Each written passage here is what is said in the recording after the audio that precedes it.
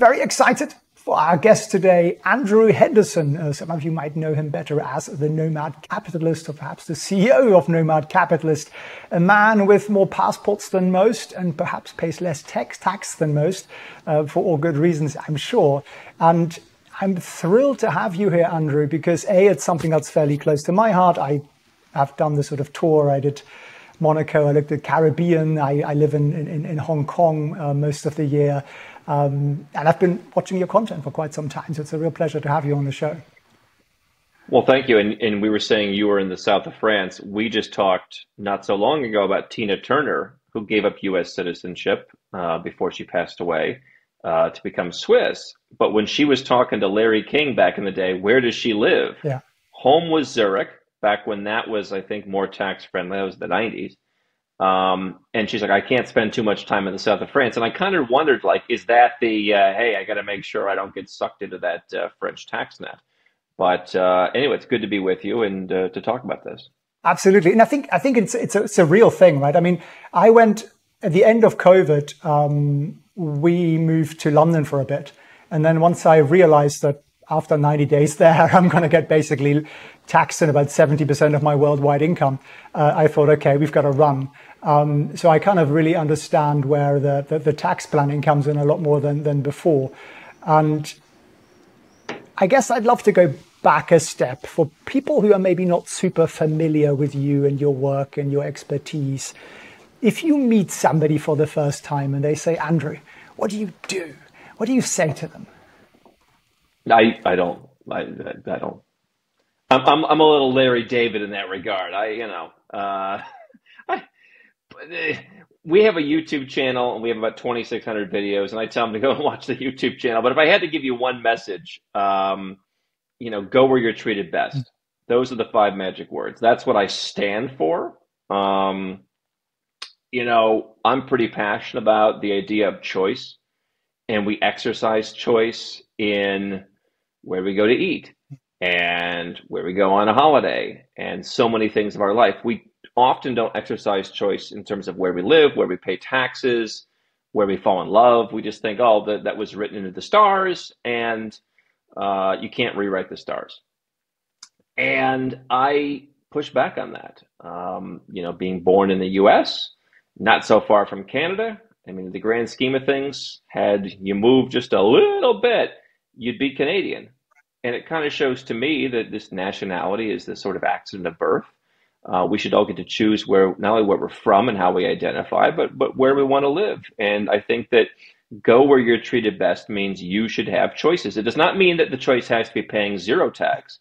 I will tell you, um, once you make a certain amount of money, uh, there's no country on earth, in my opinion, that's worth 50%. There's just so many. I mean, we've helped clients move to 31 different tax friendly countries. I hear there's another one popping up in Europe that could be number 32. Uh, you know, that's about 20% almost of the world's sovereign countries, you can find one of you can find one in five that you like uh, to avoid paying 50%. Whether you want to pay zero, whether you want to pay one, two, five, ten, whatever. Uh, go where you're treated best is about choice. And I think when you explain it that way, uh, a lot of people understand it. Mm-hmm.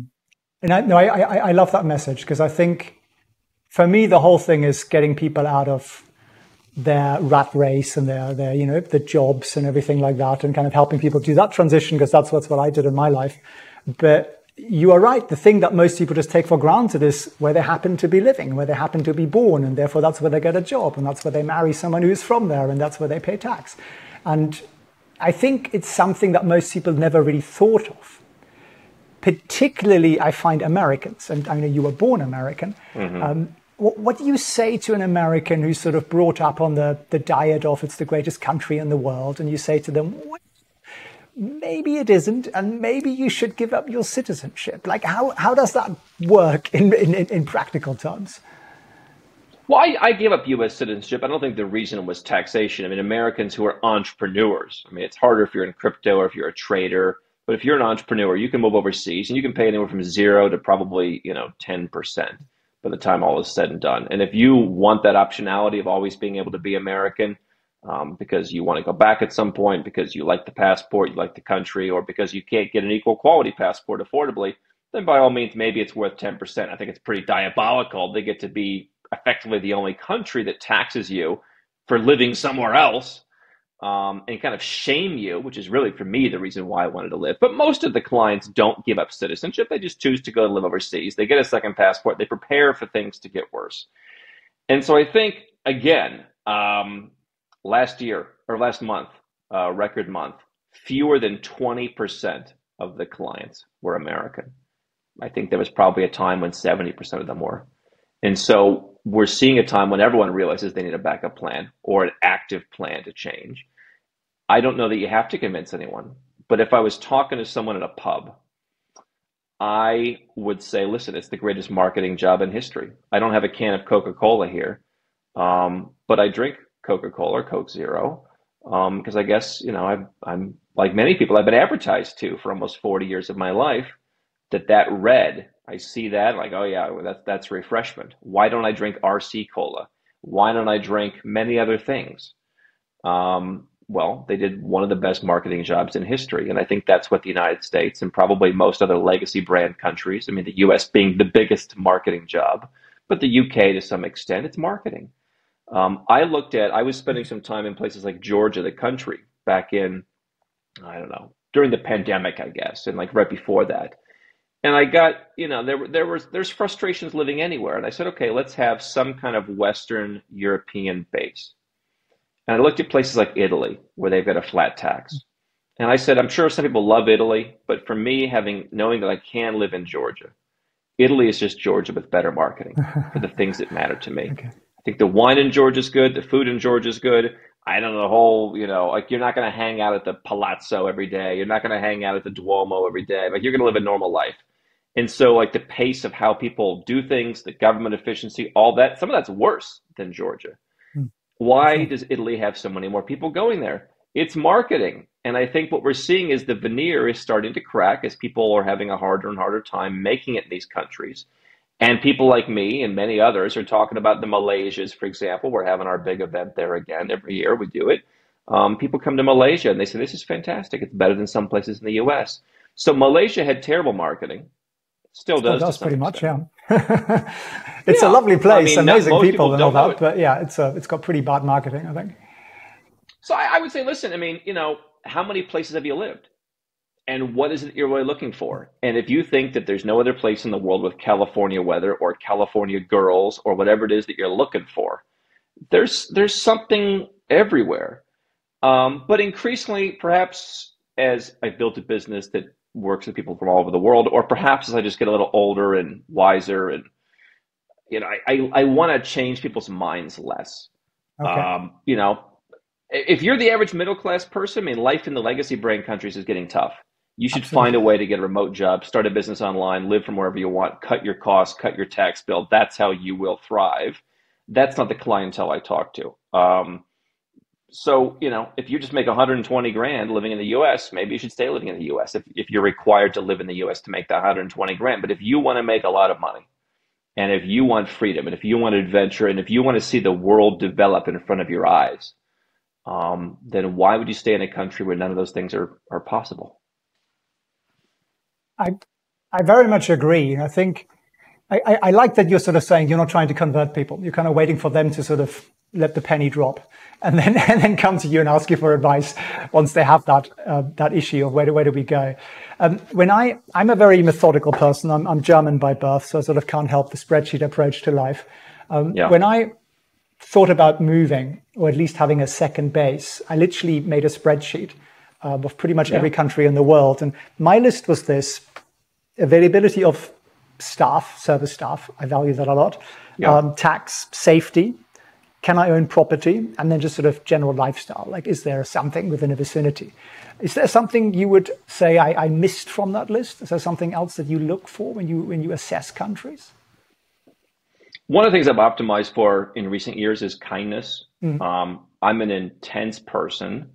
Uh, I can be brusque at times, but I think that for me, kindness is a value. Much more important than nice, by the way. I mean, nice is fleeting. Even politeness is fleeting. Kindness matters. That's one thing I think Malaysia does very well in. Places like Colombia, I think, to a certain extent, do well there. Um, genuinely kind. Georgia, I mean, probably the easiest place I've lived to make friends. Um, so that matters. And people talk about, you know, what's going to happen when society falls apart, and that's why they think the U.S. is the place. I don't know that a bunch of people who've had it too good for too long are they going to be the people to support you. Um, yeah, consumer conveniences on top of that. Um, you know, for me, availability to travel, that's not that important to everybody. But, you know, I mean, I, I don't want to live in Costa Rica five hours from the nearest airport. Yeah, yeah. Um, I, I, went to the so, Bahamas and I looked at, um, what is that place? There's a beautiful little island. Um, it's got Paradise Beach there. I mean, You know, that, that, that pink beach. It's where all the Americans go for like 100K weeks uh, on hot trips. And, and I thought it was amazing. I got there and I thought, this is a flight away from an airport that is two hours away from Miami. And I was just like, I don't think I can do that. You know, it's just it's just too remote. You're not going to be able to really enjoy the world if you are stuck somewhere like that. I, I, realize, and this is maybe the, this is why I don't try and convince people as much. I mean, I try and tell people, hey, uh, you know, if you're from the U.S., your passport's the 44th best. That's our our own 44. passport index, but actual facts. Pass, yeah, pa- you're you know in some parts of the U.S., the infant mortality rate is worse than Sudan. I mean, hey, I, just look at all those kinds of statistics. I mean, if that doesn't convince you, then you know maybe you don't want to be convinced. But I will say this: some people want to live in the pristine beach. I am more of a city person. I like the energy that comes from that. I, am not looking to retire, um, but there's something for everybody. That's that's my approach. I'm not one of these guys who sets up in Dubai and everybody needs a Dubai company and a Dubai residence. Somebody does they're probably being misled because they do have tax now on companies in Dubai. 9%, it's nine percent. Right? Uh, you know, everybody's coming out. Oh, he's misleading. It's not. It's nine percent. Just you know, admit it, guys. You have one country to offer people. I know you're angry that, that you're zero percent tax thing. You've got to you've got to trip over yourself trying to explain the nine percent tax, but it's fine. I have 31, 32 countries that people can go to. So I, I, I think you have to come to an acceptance that everyone's a little bit different. Um, but I would also add um, yeah, I mean, you, you, you just, you want to have kind of the availability of services. I think staff increasingly, yes, I'm with you on that one. Uh, there's a couple of things that I could, I could add in there, but, but, you know, um, you don't want to be too isolated. I would also add you want something that's different from where you're from. One of the mm-hmm. things that Americans, Brits, etc. Oh, yeah, I tried this thing. I moved to, uh, you know, I moved to, uh, uh, you know, Canada or something. or you know, I, I know someone who's a friend. I, I have talked to this this this colleague of mine. Her friend has lived in Vancouver, uh, Dublin, London, and now Amsterdam. I said they lived in the same place. There's the it's the same place. In the scope of the world, it's the same. Hmm. And then eventually they're gonna say, oh, you know, these these these you know places where there's no freedom. It's like, yeah, because you didn't go somewhere different. Um, that's something I, I really, I, I said recently, I've got an African passport. I know Africa is not a country, but it's a passport okay. of an African country. Which one? Um, in the Comoros. Okay. Uh, I don't, I can't say I use it very much, but it's like, okay, keep that in your back pocket for the next 20 years. Who knows what develops there? And if you, you know, I look at three categories finance, freedom, and lifestyle. Right. If you want the best lifestyle, you're probably not moving to the Comoros or most places in Africa.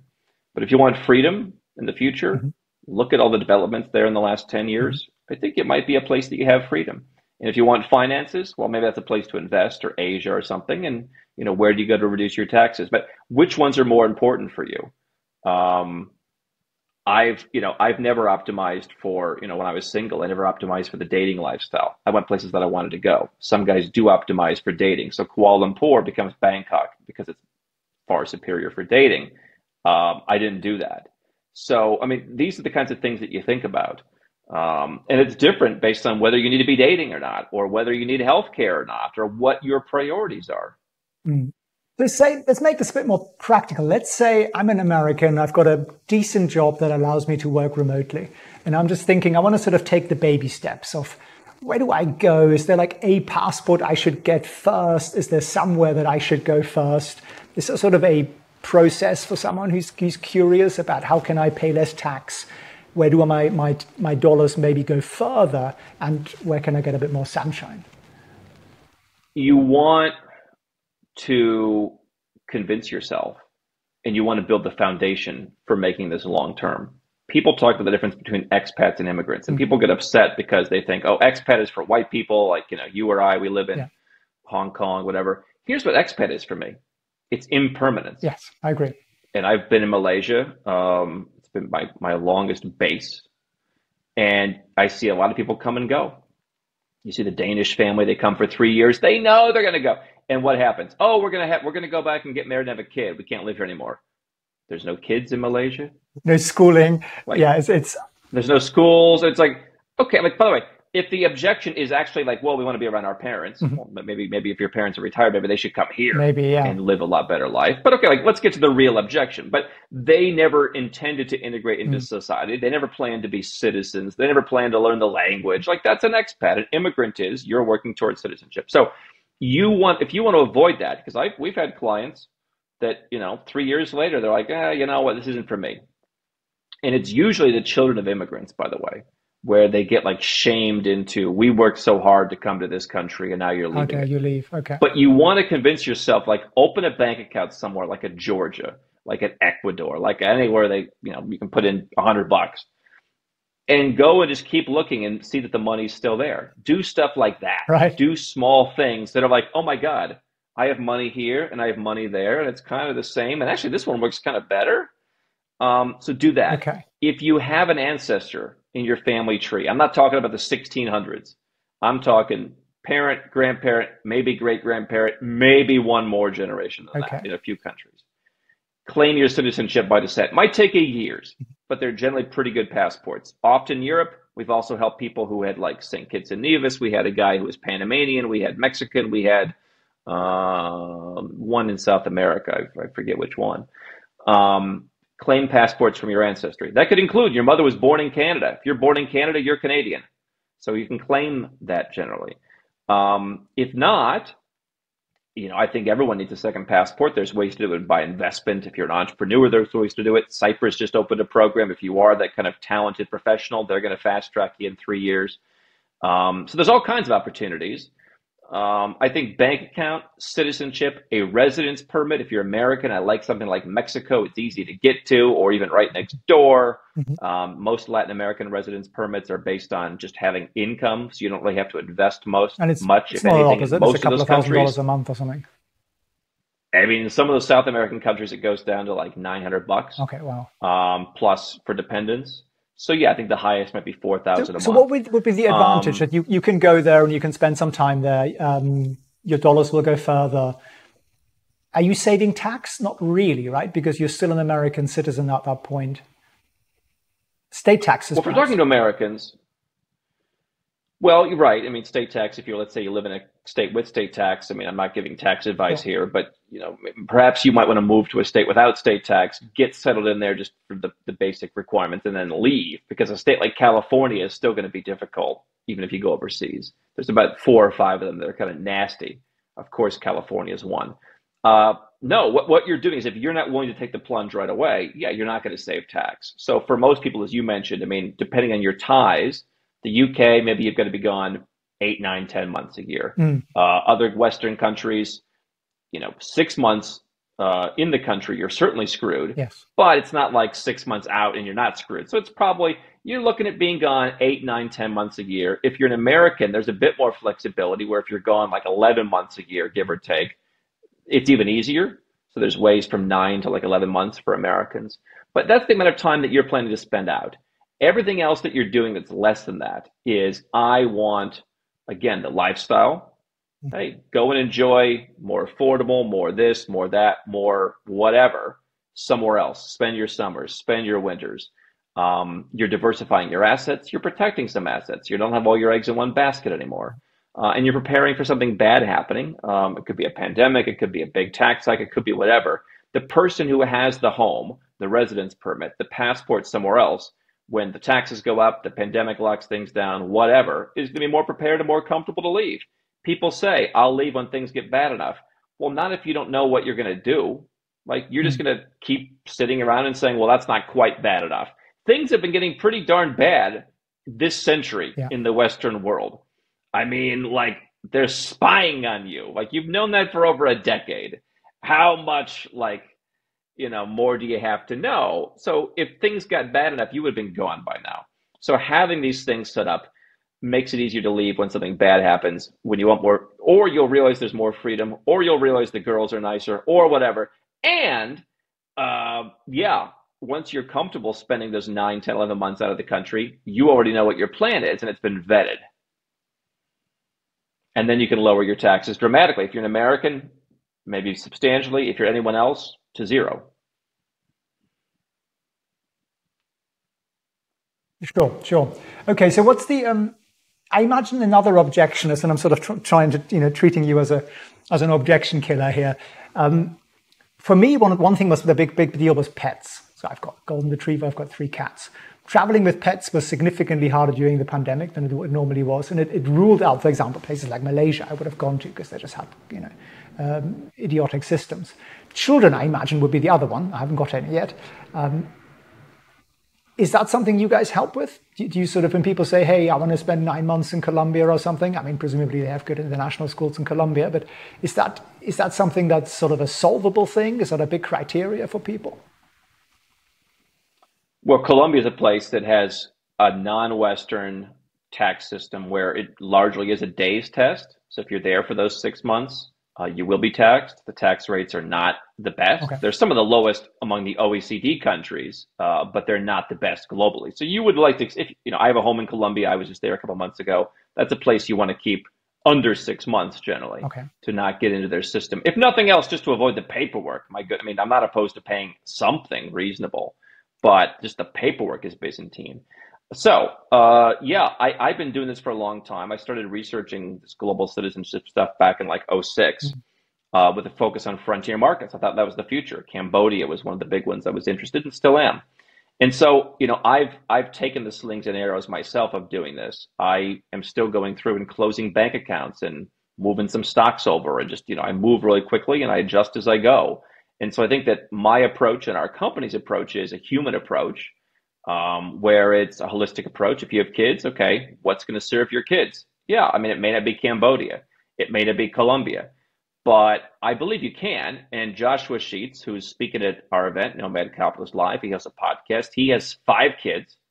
Uh, they homeschool them, and they follow my trifecta method. He basically spends four months a year in three different countries. And I saw him in Colombia a couple months ago. I think the guy's staying in a bloody hotel. Um, I think it gets a couple hotel rooms for the family. Um, so you could do anything from that. You could rent a mansion. You could buy homes in three countries, and that could get you the residence permit or citizenship in some of them um, to allow you to live there that amount of time, to, to put you on a track to citizenship. I mean, so many things overlap. But yeah, I mean, kids to me are doable. Now, homeschooling is maybe the easier way if you're bouncing around. But yes, you could spend nine months in a place, put your kids in an international school, uh, and then go and live somewhere else in the summer. I mean, there's so many different permutations. We talk to people about that. Mm. Um, yes, and on pets, uh, for me, the pets, I, I, go and get like, especially in Malaysia, uh, I'll just find a cat that has a problem.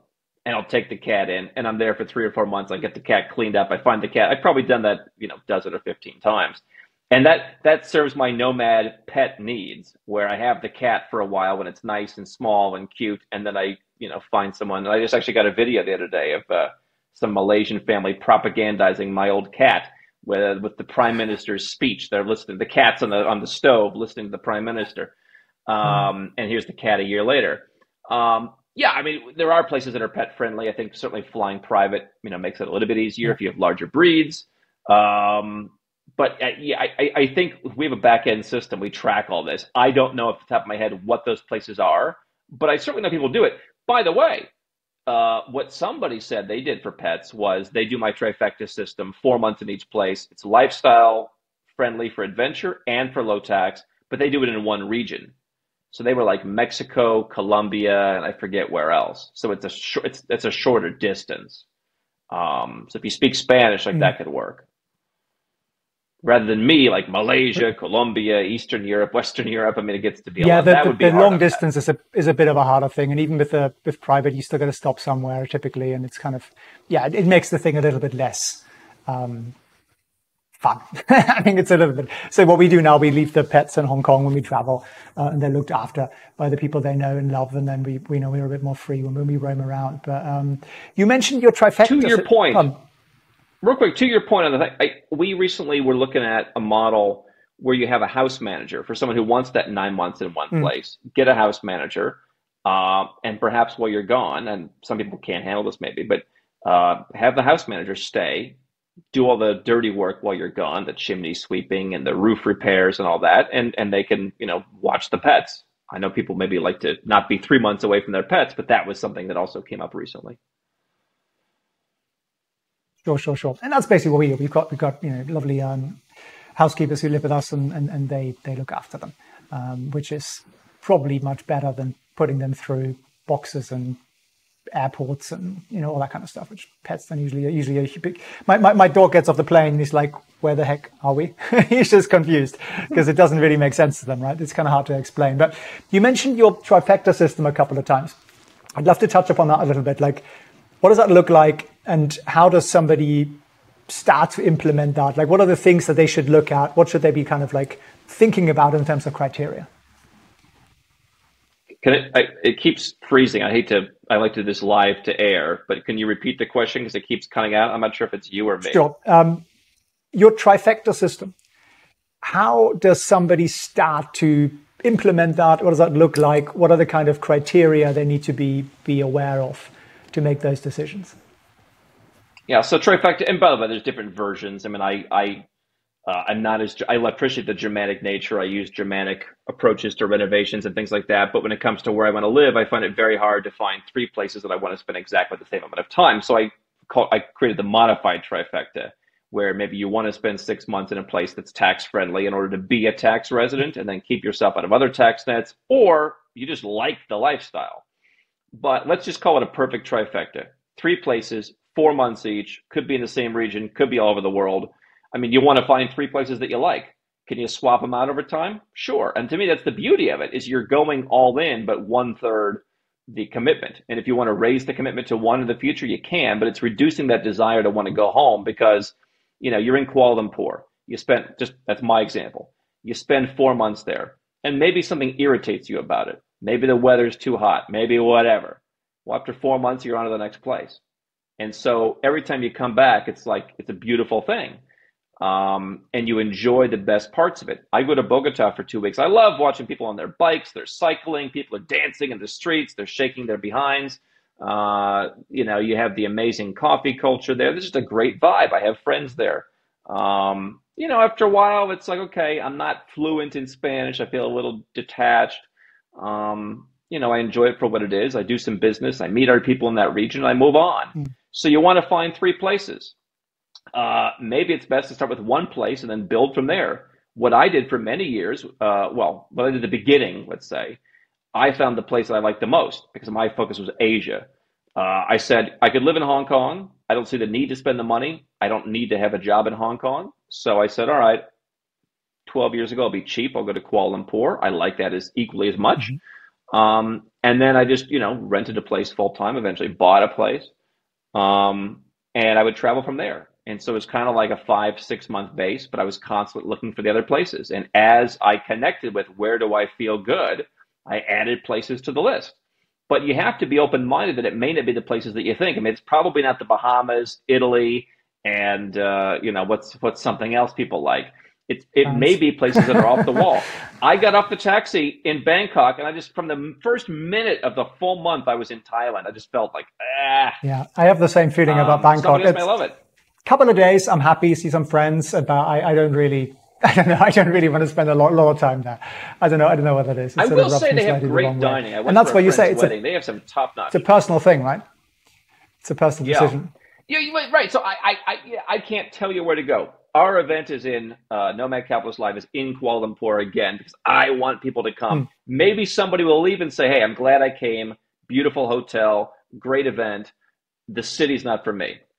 But at least it's functional. And if nothing else, at least you will see, oh my goodness, like the roads are amazing, better than in many parts of the US. Like all the things. All right, maybe you don't like it, but at least you'll take something away from that. Yeah. Now, Malaysia is a lovely place. Like I've been going there for, I don't know, 15, 20 years. Amazing people, super friendly, amazing food. If you love the tropical vibe, it's brilliant, I think. And KL is a nice city. I mean, it's not I wouldn't say it's quite Hong Kong, but it's it's a lovely city. I mean, it's very, very livable. I lived in the U.S. when I was an adult for about a decade uh, in a city, Phoenix, Arizona, and that's like a nice place to live. Anytime someone said they're visiting Phoenix, I'm like, why? Why would you like? What's there to do? And I think I've probably chosen cities like that over the years, where yeah, I mean, if you're going to visit KL three, four, five days, depending on pace, move on. There's other things to see. Um, but if you want a place just to be and to get things done and to get work done and to be able to speak English, uh, it's a great place to hang out. It's incredibly affordable, which isn't maybe the only criteria that should matter. But I don't know. You kind of you have to kind of uh, you know marvel at like getting a giant bowl of delicious food for two bucks. I, I never get tired of that. Yeah. No matter what, even if I'm having caviar for dinner, I love having the two dollar lunch.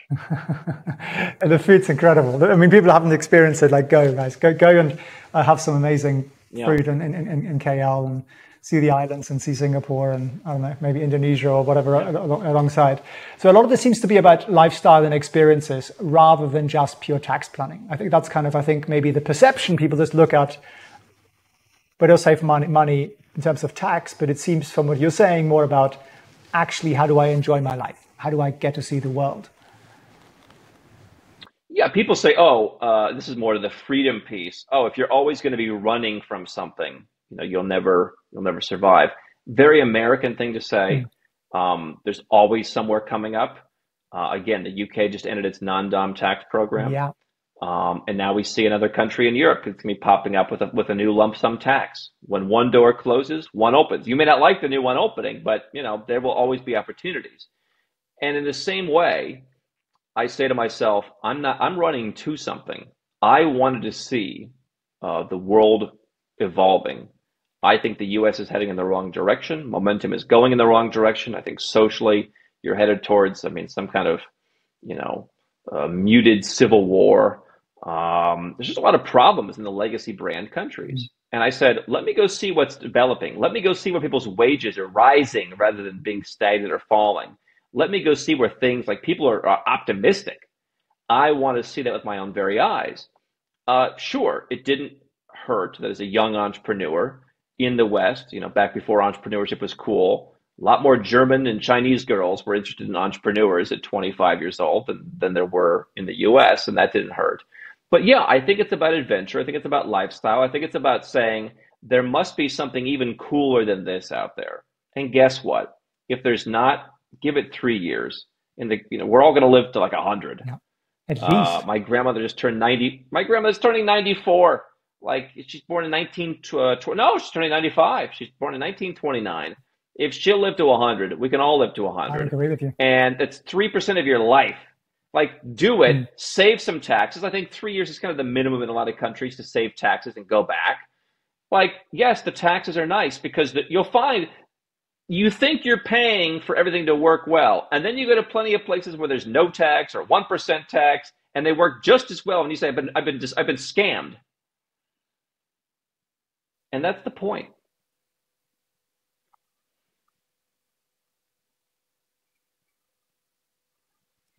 Sorry, was just a little bit laggy there, but it, it, it does come through in the end. Um, but no, I, I, I, I completely agree with you. And I think if we can encourage people who are watching this to do the one little easy step that you mentioned at the beginning, go somewhere that is in your country, open a bank account, um, go there for a couple of weeks a year or something, and just get your feet wet and start to see the world and start to see that there's a world outside the box that you were born into and the sort of mindset limitations that we have, I think, I think the, it's fantastic. And along the way, make some money and figure out how to save some taxes, which means it's twice as wonderful. And um, I really love that. I really like, like your input there. If I can uh, leave you with two quick questions. One, I'd love to see is there one place that you say is on the rise? And two, tell us about your event in November. What's going on there in KL? Well, I think a lot of places are on the rise, and some places are on the rise for some period of time. And you take your profits, whether that's literally in terms of you invest there and you cash out, or figuratively in terms of you live there for 10 years or you have a second home or whatever, and then it no longer works for you and you move on. I mean, I think that That's the big lesson. People say, "Oh, well, what are you gonna? Where are you gonna go if the next place doesn't work out?" And one of the speakers at our event, his parents moved from Sri Lanka to Australia, and he moved from Australia to Dubai. So each generation goes to the next great place. Uh, and I think there's something to that. If we're going to romanticize ancestors, at least where I'm from in the U.S., and they did the right thing by moving to the U.S., well, maybe each generation does the the right thing by moving somewhere else. And uh, you know, for me, if you had children and each of them lived in different places because they each went to what was the best place for them. Maybe one's going to be an AI. There's going to be a place that's going to say we want to be the capital of AI. There's going to be a place that's going to want where we want to be the capital of crypto. You're going to see many more niche players. There's not going to be one Singapore or one South Korea. So, you know, for crypto, it could be Bermuda, it could be Malta, it could be any number of places. What I know is it won't be the United States because they're threatened and they keep pushing back on it. And look at how many people they're charging with crimes uh, relating to crypto and AML and all that. Some of them, I'm sure, are guilty and ran scams and did bad things. I don't support that. I'm guessing some of them just didn't collect enough information on their customers and it upsets the US government. So that's not going to be a place to want to go. Um, I think from a lifestyle perspective, I mean, a place like Malaysia is fantastic. I think from an investment perspective, a place like Cambodia remains on my radar. Nepal is coming up. Bangladesh is coming up. I follow the global citizen sandwich. Assets are on the top part of the sandwich. If you're in Asia, that's Singapore. I think Singapore is the best transa- transactional banking hub in the world, mm-hmm. better than Switzerland. So Singapore is the top part. That's where you store all your wealth. The bottom part of the sandwich is where you invest the wealth in places that are up and coming, like a Bangladesh or a Cambodia. Uh, I think Asia is probably as good a place as any for opportunity. And then you live somewhere in the middle. It doesn't have to be in Asia. If it is, I think Malaysia is right in the middle, maybe Bangkok. Um, you know, if it's somewhere else, okay, what's in the middle? Um, you know, there's a number of places. So I want you to have that diversification uh, to where you're not you're not having all your eggs in one basket. I own property in Malaysia. I do not think it will go up in value in the next five years. Mm-hmm. I own it so I have control over my space. I have an aesthetic environment I can work in and I feel totally comfortable. Yeah. I can go there whenever I want and it's waiting for me. I do not buy it as a financial investment. Over time, I think it'll do fine. I don't plan on selling it ever. So what do I care if it goes up a little bit? Some most other properties I, I do have, I have, but like diversify your finances, your freedom, and your lifestyle, and look at the global citizen sandwich to where each place does different things for you. Now, the event is in Kuala Lumpur because I didn't want to be. Not only can I not go, I would have to ask for a visa if I wanted to go back to the United States. I don't want to do that, and so some of my employees would too, and they probably also wouldn't get one. Um, so you know, I don't want to have an event that teaches people how to do this stuff in Orlando or Austin. Um, I just think people should come out and experience it. So it's a four-day event. Uh, we've got the president or the CEO of AirAsia, which is like the biggest airline in Asia. You've been there. I mean, it's like they've revolutionized travel. Mm-hmm. It's the Ryanair of Asia, but like it's a good airline actually. Uh, he's speaking. Yeah. Uh, Nigel cool. Farage, who whether you like Brexit or not, he was unbanked. I do actually, and that speaks volumes about what they're doing to you in the West, in Canada, yeah. in the UK. They don't like it. They shut you down. Yeah, crazy. Um, we've got emerging markets experts. We've got uh, our own team talking about the latest tax incentives. This stuff changes every month. Passports, tax incentives. Uh, we have people coming to talk about investing in Southeast Asia. I mean, just go to nomadcapitalist.com slash live. We sold out the general admission tickets for 2024. Um, we have a few VIP, uh, VIP spots, but I mean, it's basically a lot of commentators on where the world's going economically, both from a Western and Eastern perspective. Where can you go and be free? Where can you go and invest your money? Where can you go and protect your money? Uh, with some big names in there. Bitcoin as well is going to be covered, but it's an event. It's not a conference. It's not a trade show. There's no sponsors. Um, it's a premium ticket because there's no sponsors, and we just overload your mind for four days with some great Malaysian food, drinks, cocktail parties. We've got uh, uh, a nightclub this year for the first time ever at the event. It's an event where you meet amazing people from 35 different countries. Um, you talk to people about like Venezuela. There's a place that I think has some potential. We have two people who work for us in Venezuela. Interesting. And they're successful people. They go to the US, they go to Europe, they travel all over the world. Um, but they can buy stuff in their country and it's incredibly cheap right now. Yeah. What's the what's the story? Don't watch CNN or the BBC. Come and talk to them. While you're mingling during lunch and hear like what's the opportunity to buy an apartment for 10 grand? Yeah so that's the, the, kind of stuff you what's get. the risk there? Meet some people help facilitate that in some way and stuff. Okay that's very cool. Um, that sounds very interesting. Um, absolutely. So andrew it's been an absolute pleasure to get a bit of an insight into your mind and into your knowledge. Appreciate you sharing it. And i think really like i'm always all about getting people towards the financial freedom goal, but also life freedom. And this really takes it yeah. to the next level, which is actually the world's your oyster. And that's how I live my life. I spend it between usually Hong Kong and south of France here in London, um, where I have friends and enjoy being here. But would I want to be here all the time? No. Yeah. And it gives you that, as you say, you meet people, you get different impressions. Uh, and it'll probably change. I might not be in this spot in 10 years, right? But for, for, for the moment, I'm here for a little, for a little while each year. And every time I come, I'm excited. And every time I leave, I'm excited to go to the next place. And I think yeah. we seem to be sharing that, that sort of way of, of, of, of living life. And it's, it's, I like what you said. People always say, I'm running away from things. And you're not. It's not really about running away from tax. It's just getting that set up in a way that's advantageous to you because you can take advantage of it. And if you don't, it's kind of, it's, it's a real missed opportunity, right? That's actually you know, wh- why do people go to work, right? Not because they love it usually, but because they need to make some money. So they're making their life well, we do two or three times as hard. You know, it, yeah, but most people don't. Most I, people I, have, a, have a job. They drive to it and they sit in traffic and they sit in a cubicle, right? I mean, okay, this isn't exactly work, right? We get to have a nice, interesting chat about some, some fun stuff. So this is a bit different to what the 99% experience. I, I was watching a, uh, a basketball player uh, talk about how he doesn't leave his house if he's not in a good mood. Because if people come up to him, he wants to be in a good mood. I'd say if people come up to me, I'm in a good mood 97% of the time. Uh, when they corner you, I don't know if this has happened to you, like when they corner you in a stairwell and like, like, like not so much in a good mood. Um, but, uh, you know, a lot of people are commenting, oh, yeah, like that's what famous people should do. And I'm not saying like that I'm as famous as this basketball player by any means, but that's what it should be. Like that's your obligation to society if you're famous. Like some people didn't choose to be famous. That something happened, they got the spotlight. And so mm-hmm. that kind of showed me just how out of touch the average person is from people who've chosen to be successful, who are self-made yeah. people. And so in the same way, if you make $80,000, I think life in the US has gotten worse and it will continue to get yeah, worse. And again, if you can make that $80,000 and your company will let you live anywhere else in the world, you cut the tax bill potentially, you cut the cost of living. That's going to be the difference. Like the taxes, water seeks its own level. The taxes are what makes places unaffordable. If you cut the taxes out, it'd be delightful. But still, maybe 80 grand, you're in the bracket where you should keep your U.S. citizenship. Maybe you want to stay there. It's a good place to get a job. I think it's all changing, but still. But also understand if you make $10 million a year, yeah, suddenly the guy who makes 80 grand and pays 10 grand in taxes and, and proudly says he pays his taxes, you're not paying 5 million.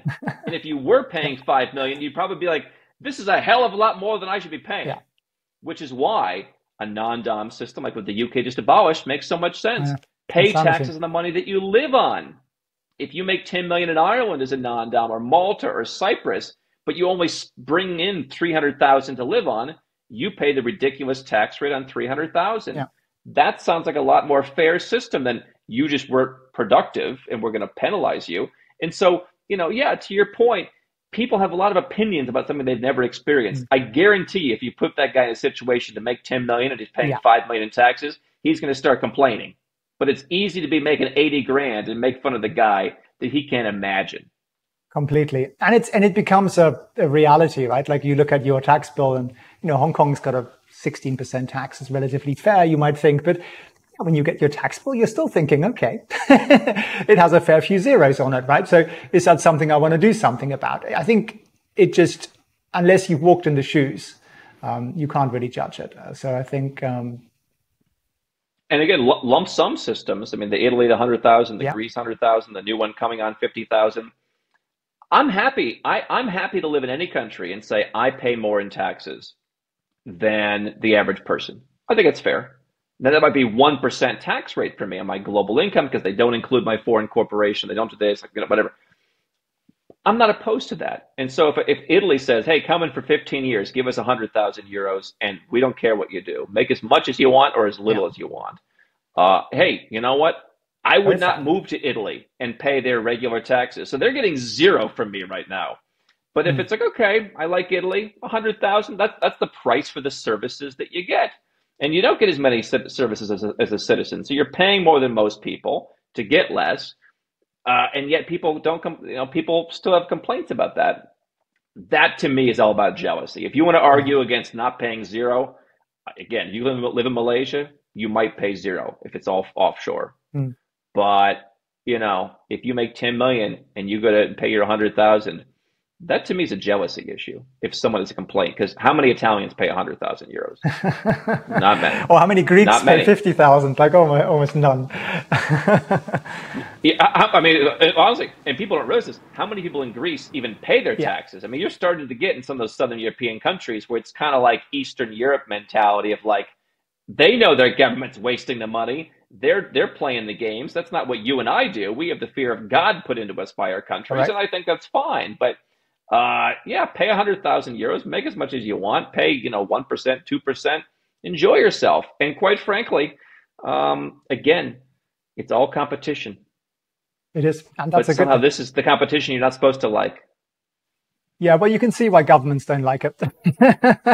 uh, the inefficient ones and the inept ones, particularly. But yeah, I think the message here is make the world your oyster.